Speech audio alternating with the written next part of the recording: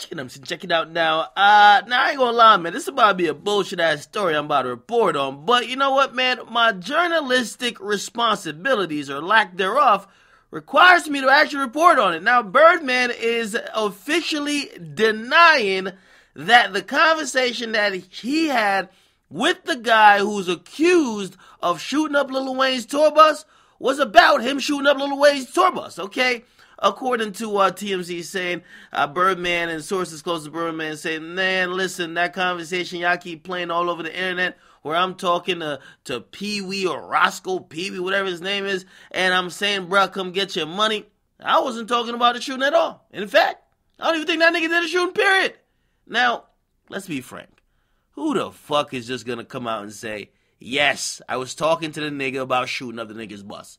That's basically self snitching, okay? So whether he did it or whether Birdman was having a conversation with him about the shooting and about him come getting the money for the shooting, that's something that you'll never get a confession from unless he's an idiot.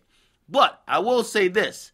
It gotta be somehow mediated with Lil Wayne because Lil Wayne's the one who calls this man Pappy. Okay, he's the one who's kissed him in the mouth.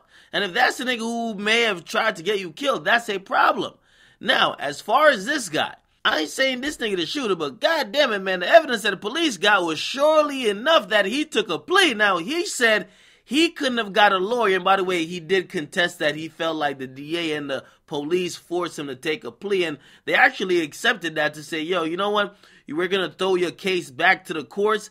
But they're saying that the car he had matched with the car caught on surveillance tape fleeing the scene. They're saying that basically Thug called him, Birdman called him, and they're saying everything matched up geographically with where he was at and where the bus was at. Now, we ain't gonna say the nigga guilty, but goddamn it, man, there's a lot of evidence against this motherfucker, okay? So, I just have to say, if I'm Lil Wayne at all, I'm gonna look at you funny, Birdman, even if that conversation wasn't about that if he did do it or he knew who did it, if you stand close or you're cool with him, that's a problem. However, I ain't Wayne and I ain't never called nigga daddy. That wasn't my daddy. And I ain't never kissed a nigga in the mouth. So, I don't understand how Wayne lets that rock, but it's up to him. And we'll see if him and Birdman will ever rekindle that friendship or love. I don't know what it was um, between them like they once had. Or if they'll do business ever again in the future. Okay? What y'all think, man?